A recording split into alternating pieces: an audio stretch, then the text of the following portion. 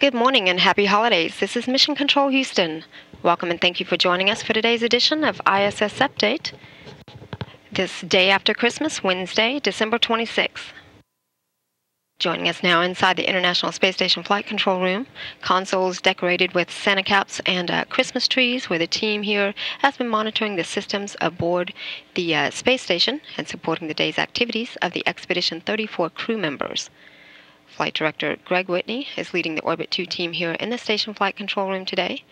And next to him is uh, astronaut Jack Fischer, who is serving as a Capcom, relaying all ground messages up to the crew.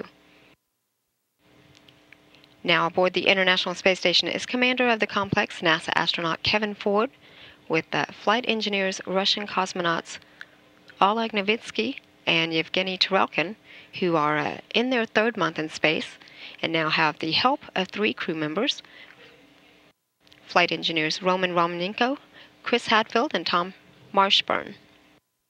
The newest crew members of Expedition 34, Romanenko, Hadfield, and uh, Marshburn, arrived to the International Space Station last week on December 21st aboard their Soyuz TMA 07M spacecraft after docking it to the uh, module following their launch on December 19th. Today, the newcomers will complete their fifth day in space. Meanwhile, they're aboard the station to greet the new crew members, Commander Ford, with the flight engineers Novitsky and Tarelkin launched to the orbiting complex aboard their Soyuz spacecraft as the uh, Expedition 33 crew back in October. Their uh, vehicle docked to the Poisk module of the space station two days after their launch on October 25th, and today they will complete 63 consecutive days in space.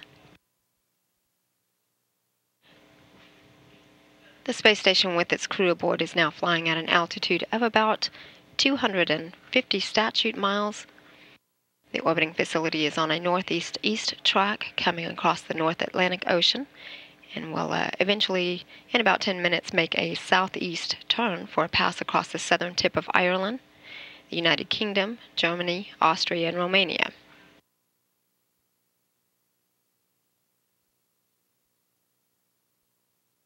The Expedition 34 crew members began their day with some time this morning for work prep breakfast, morning hygiene, and a daily station inspection.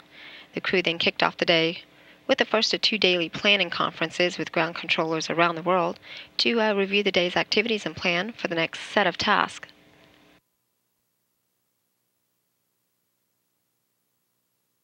Commander Ford began his morning working to uh, load new control software of gradient heating furnace to one of the experiment racks in the Japanese module. He then began working with a couple of science experiments. He spent some time reviewing the Lego bricks study that uses the common Lego bricks to uh, demonstrate simple science concepts and how construction works differently in a microgravity environment. Ford also had conducted a session with the reversible figures experiment that uh, studies whether the perception of a figure that can normally be seen to change in perspective or orientation in two different ways is affected by microgravity. Commander Ford also took time out today to talk with the University of Notre Dame earlier this morning. We'll replay that uh, live in flight event later during today's ISS update. Ford and new station resident flight engineer Chris Hadfield had worked together for a uh, function handover review of correct pulley alignment of the uh, Advanced Resistive Exercise Device. This is the uh, exercise system that uh, simulates weightlifting here on Earth.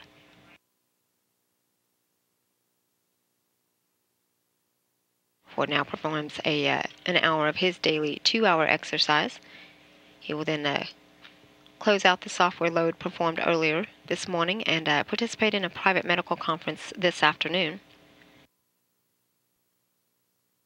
New station resident Chris Hadfield kicked off his day with his uh, two hour daily exercise using the advanced resistive exercise device and also the onboard treadmill. He then had some time for continued station orientation.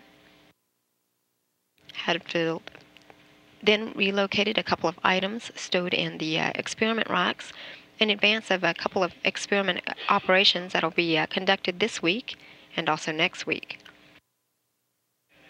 Hadfield will uh, participate in a private medical conference, and he'll also perform regular maintenance to the onboard waste and hygiene compartment. Later, he also will uh, perform a session with the reversible figures experiment. And flight engineer Tom Marshburn spent some time this morning with the uh, LEGO bricks study. He also had some additional time for space station orientation. Marshburn then conducted a, a review of the onboard refrigerator known as the minus 80 degree laboratory freezer. This is uh, used to store biological and experiment samples that require refrigeration aboard the International Space Station. Marshburn also will participate in a private medical conference and will have time to work on an entry for the uh, journal study. Meanwhile, on the uh, Russian side of the house, flight engineers Novitsky and uh, Tarelkin work together on the Typology experiment that looks at the effect of long-term spaceflight on a uh, crew member's psychophysical state, ability to uh, withstand stress and to uh, perform and to communicate.